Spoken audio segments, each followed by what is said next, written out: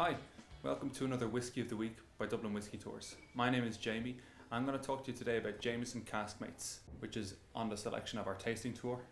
Um, it's a very nice whiskey to actually start if you're going to be enjoying a few whiskies, and this is why we actually use it as our first one. It's nice and easy going, easy to drink, quite smooth. Uh, you might call it a sessionable whiskey.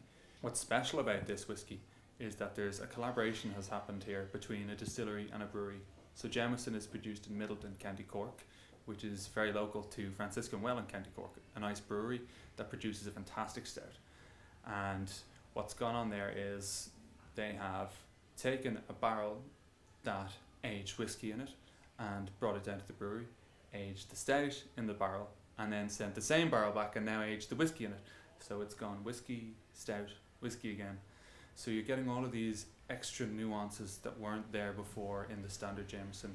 All those different flavors of you know coffee, chocolate, you know dry flavors, and uh, like very very rich flavors, uh, being imparted into the wood during that maturation as well.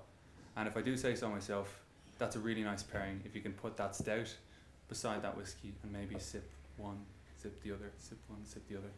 So what you've got in the nose is actually more, I would say, smoother, kind of more soft caramelly, chocolatey notes in there than the standard Jameson.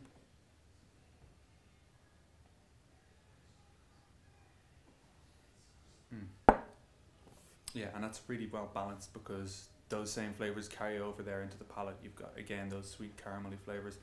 It's also got like kind of in the backdrop there a very subtle, I would say, kind of herby note, and that could be down to the hops uh, from from the beer.